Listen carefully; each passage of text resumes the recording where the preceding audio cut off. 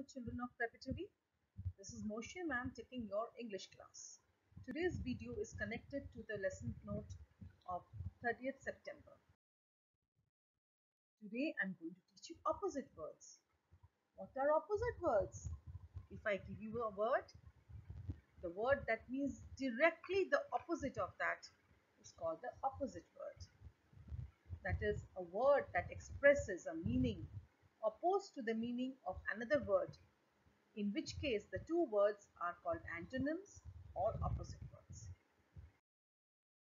Example, look here.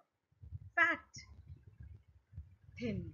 You know fat and other the opposite is thin. Hot, you feel very hot in the sun and cold, cold like ice cream. Old, very old lady, old and young, clean.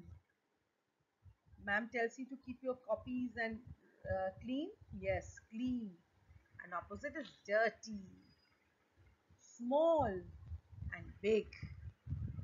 Tall and short. Now I think you have understood what is opposite words. So I have given you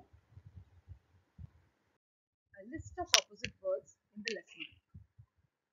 Please learn those opposite words. Thank you children.